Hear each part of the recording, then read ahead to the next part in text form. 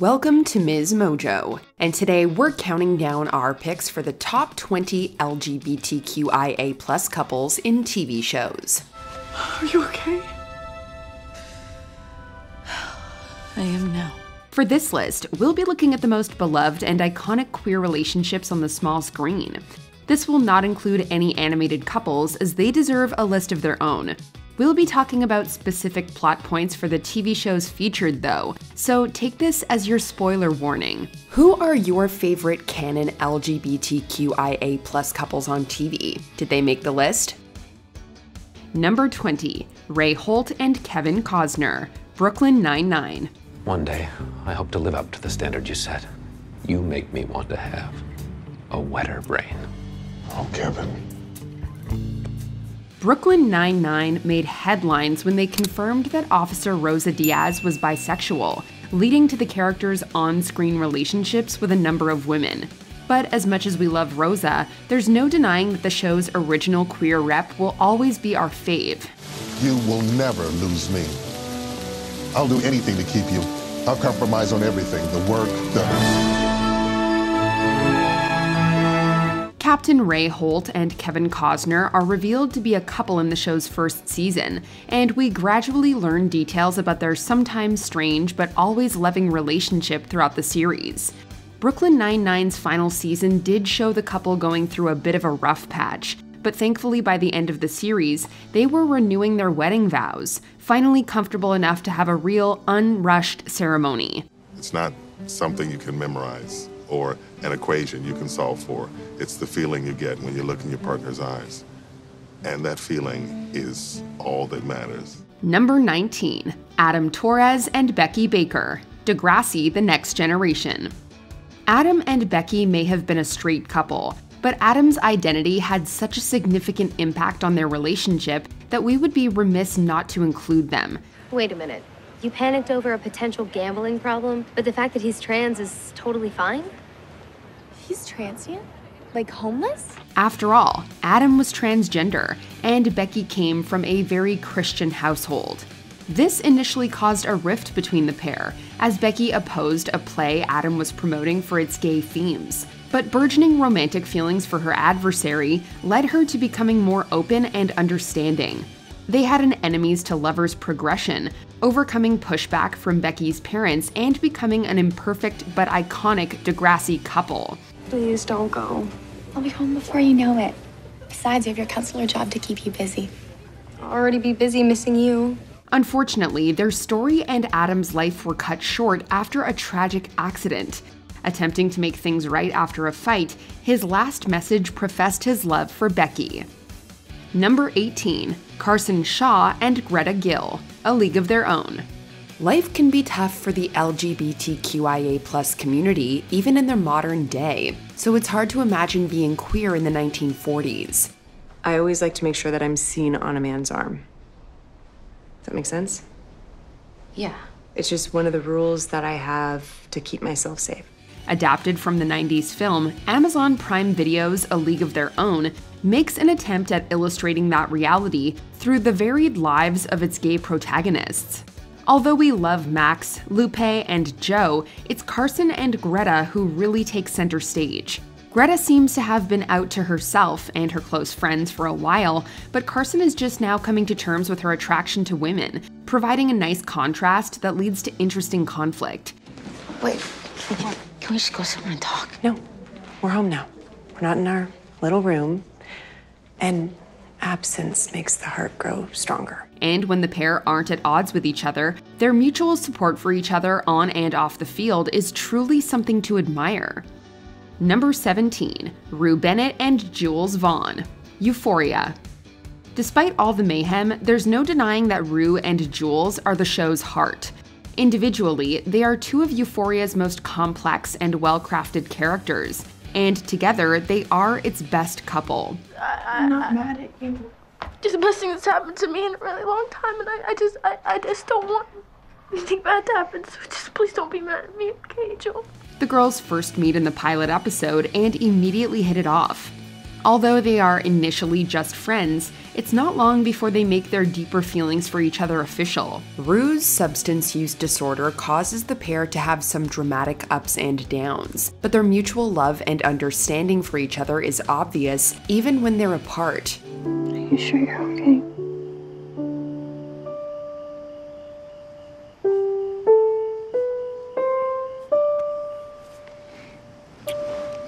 It's unclear whether the couple will end Euphoria's run in a relationship, but we're hopeful they'll stay in each other's lives all the same. Number 16 Dani Clayton and Jamie Taylor, The Haunting of Bly Manor. You said it was a ghost story. It isn't. No? A love story. Following the success of The Haunting of Hill House, no one could have guessed that the next installment in Mike Flanagan's miniseries based anthology would not only tell a chilling ghost story, but a profound sapphic love story. Dani and Jamie were both employed at Bly Manor, the former as an au pair and the latter as a gardener, when paranormal occurrences began happening at the residence. While investigating the source of the strange happenings, the two came to understand each other and eventually fell in love. I know what it feels like. Feel like you can't find you. Their ensuing romance was as beautiful as it was tragic, with the pair devoting their lives to each other with the knowledge that Dani would one day become the Lady of the Lake. Number 15 Connor Walsh and Oliver Hampton How to Get Away with Murder. Connor and Oliver's relationship started out as one of convenience. I don't work in the cool part of the company, if that's what you're thinking. I'm in IT. IT? No, I. I think IT's very cool. Oliver had information that Connor needed, and Connor decided that seducing him was the best way to get it. Fortunately, it wasn't long before that gave way to genuine affection. Connor owned up to using Oliver, apologized, and soon thereafter, the pair established what became How to Get Away with Murder's best relationship. In a show where deceit is second nature, Connor and Oliver were ride or die for each other. My dream was you. In the second season, Connor almost shot Annalise for threatening Oliver, and even during the couple's temporary breakup, Oliver made sure that Connor still had a place to call home. Number 14 Nomi Marks and Amanita Caplan, Sense8. It's rare to see transgender characters on TV that are actually written by transgender creators, and rarer still for those characters to be allowed such loving and supportive same sex relationships. In this respect, Nomi and Amanita are as revolutionary off screen as they are on it. The two meet at a bookstore, and shortly thereafter attend Pride together, where Amanita defends Nomi so passionately that Nomi is moved to tears. I'm not crying because of her. I'm crying because no one's ever defended me before.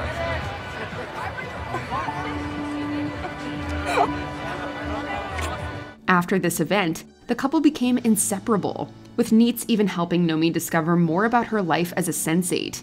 By the end of the series, the couple have been through a lot together, and finally sealed the deal on their relationship with an enchanting wedding ceremony. This is my future.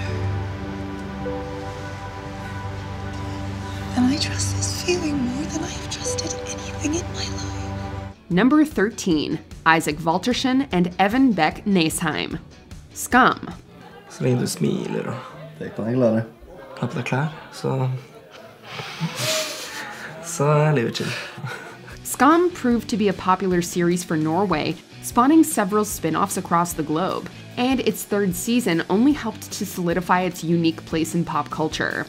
Breaking streaming records in Norway, the third season of Skam focused on the love story between Isaac Valtersen and Evan Næsheim, two boys who come to terms with their sexuality and love for each other in Oslo.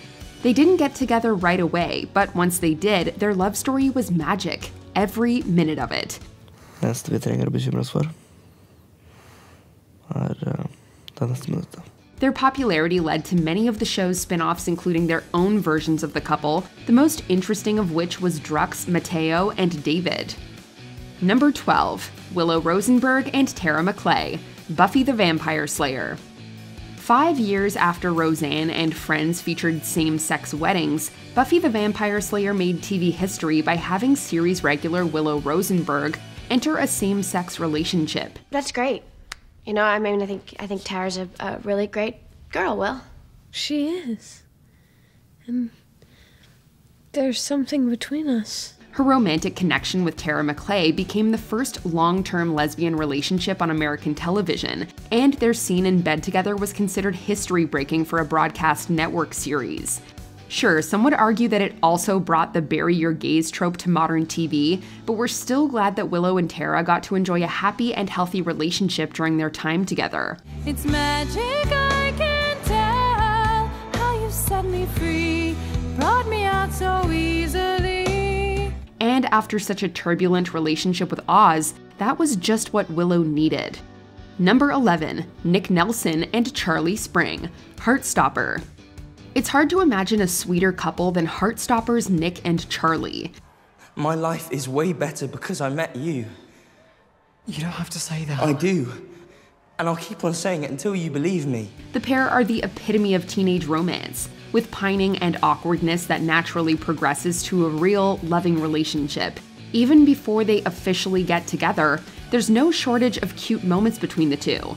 In the show's second episode, the pair were already making snow angels, learning to play the drums, and taking naps together on the couch. Just one episode later, they had their first kiss and realized their feelings for each other had been mutual all along, even if Nick wasn't entirely sure of his sexuality yet. You okay? I. Now that they've figured themselves out and have a supportive friend group, we're excited to see where their journey takes them next. Number 10 David Rose and Patrick Brewer, Schitt's Creek. Everyone's favorite sitcom about a socialite family that literally ends up in Schitt's Creek has proven time and time again to be skilled at handling themes concerning identity. Um, I do drink red wine, but I also drink white wine. And I've been known to sample the occasional rosé. And a couple summers back, I tried a Merlot that used to be a Chardonnay. Starting as business partners before taking the next step, David and Patrick are simply at their best when together, be it romantically or as the owners of Rose Apothecary. And it can't be wrong. Take my heart and make it strong, babe. Cause you're simply the best. Better than all the rest. These two are made for each other, with David's sarcasm and creativity being well matched by Patrick's more professional and grounded nature. As an extension of Schitt's Creek's feel good tone, David and Patrick's relationship is sweet, uplifting, and a ton of fun. Standing in front of me. This just felt like the perfect place to ask you to marry me.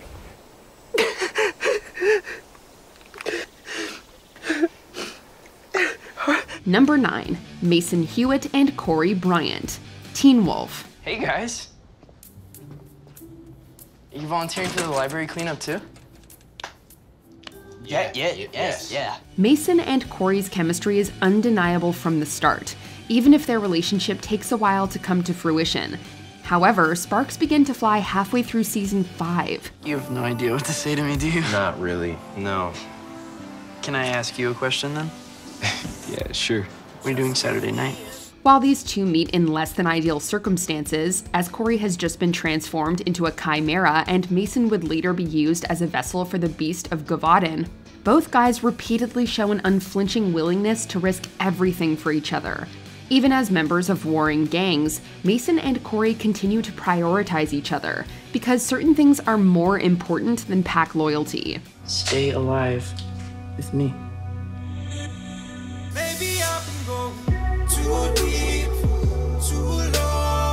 Number 8. Nicole Haught and Waverly Earp, Wynonna Earp. Hey, excuse me. What is your problem? I don't understand.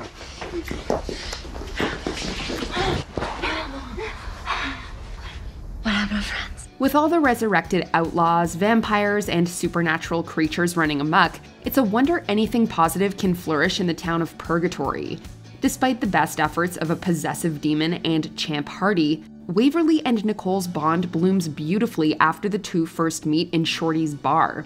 Along with being beyond adorable together and sharing some truly memorable makeout sessions, Waverly and Nicole support each other unconditionally, even when they're individually struggling with their own identities. Whether celebrating Christmas or owning some vampires, Nicole and Waverly are always melting hearts. But still, we standing here.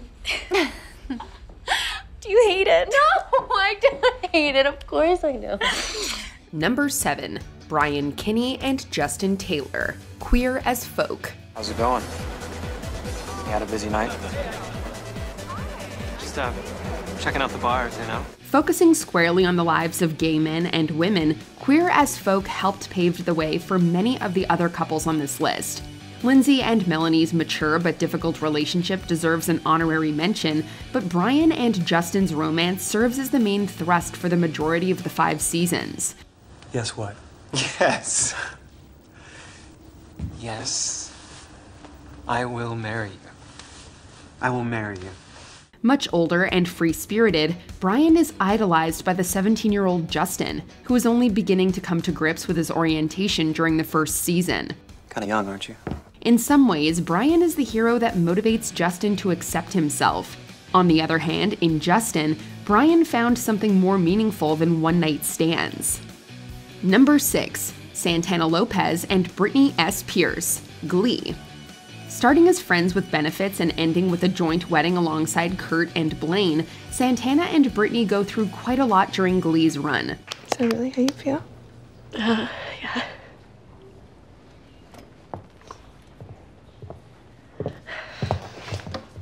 Along with lovers, Santana and Brittany are best friends, ones who also happen to complete each other. Brittany's enthusiasm and kindness rub off on Santana, while also giving the cheerleader the confidence to sing her feelings. And I feel that when I'm with you, it's alright. I know it's right. Something similar happens in reverse, with Santana protecting the often naive Brittany. Santana and Brittany both go through journeys of self discovery, and the trials can be overcome because they are in this together. You know, it's funny.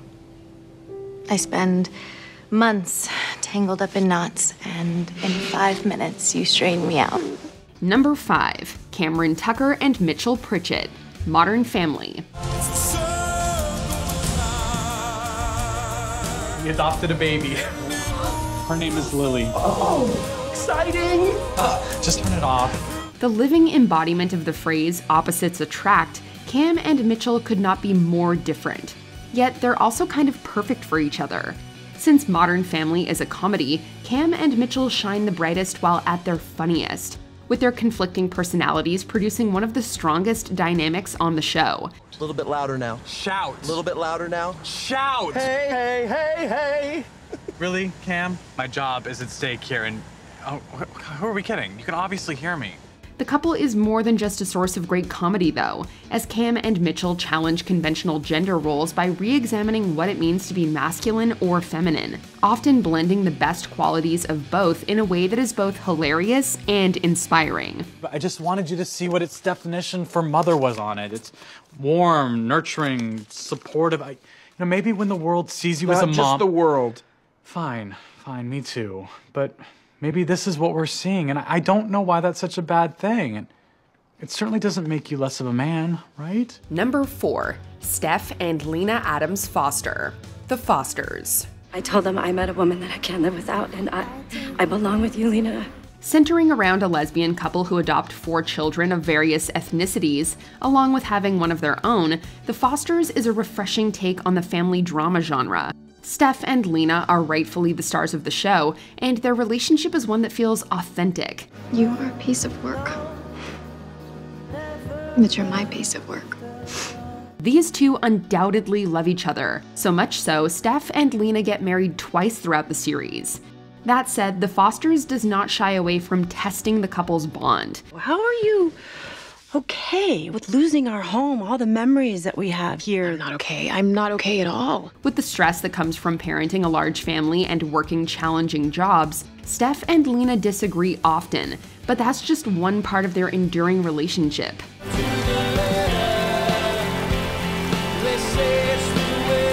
Number 3 Ian Gallagher and Mickey Milkovich, Shameless.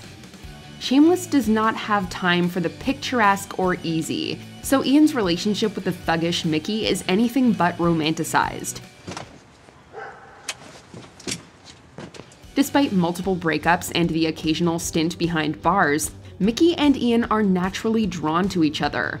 In the earliest seasons, these two engage in an intense but borderline toxic secret romance, while Mickey struggles to come out to his family. You don't understand. Oh, I do understand. I understand better than anyone that you're afraid of your father. You're afraid of your wife. You're afraid to be who you are. When Mickey is finally in a good place, Ian begins to spiral out of control, ensuring the couple only experiences short bursts of happiness. I'm worried about you. I love you. Mickey and Ian might occasionally bring out the worst in each other, but the couple represents Shameless at its best. Number 2 Clarke Griffin and Lexa, The Hundred. Maybe we do.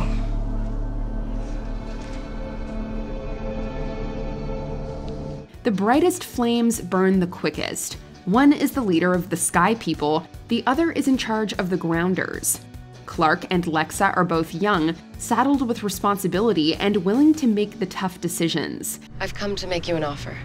This is not a negotiation.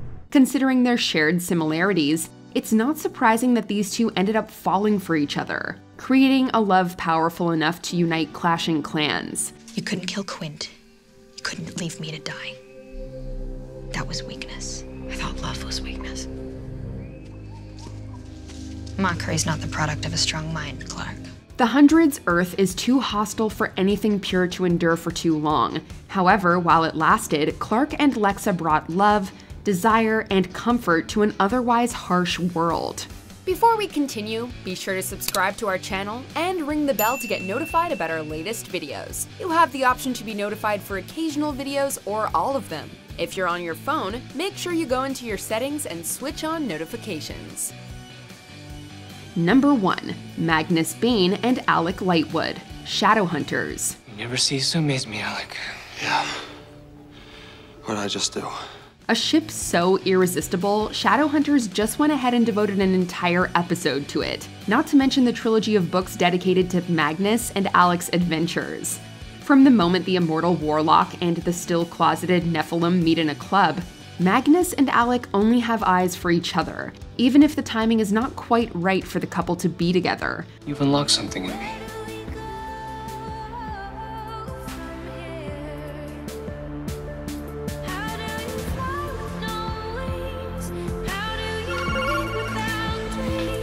Throughout all three seasons, Magnus and Alec's interactions are defined by warmth, unbridled desire, and provocative flirtation. At times, Malec is the stuff of fairy tales. At others, Magnus and Alec present an attainable ideal worth striving for. The love I have for you is a love that knows no bounds.